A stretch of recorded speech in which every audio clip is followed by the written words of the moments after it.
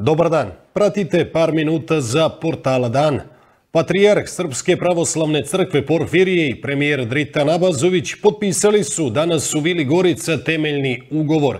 Grupa građana protestuje ispred Vile Gorica zbog namjere vlade da sa Srpskom pravoslavnom crkvom potpiše temeljni ugovor.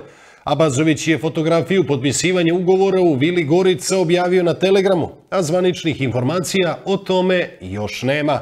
Predsjednik Crne Gore Milo Đukanović rekao je nedavno da u tekstu temeljnog ugovora sa Srpskom pravoslavnom crkvom pri sadašnjem stanju nije dovoljno zaštićen interes Crne Gore. Ukoliko se potpiše ugovor, kazao je da će DPS ići na procesuiranje inicijative da se izglasa nepovjerenje vladi, ali ne i da se podnese inicijativa za skraćenje mandata parlamentu, najavio je nedavno predsjednik u intervju u televiziji N1.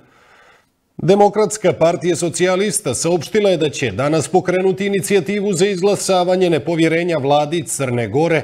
Prema ranijoj najavi, DPS će danas pokrenuti inicijativu za izglasavanje nepovjerenja vladi Crne Gore. Inicijativa je otvorena za sve one koji također smatraju da se vlada neodgovorno odnosi prema nacionalnim interesima, kako navode iz Demokratske partije socijalista.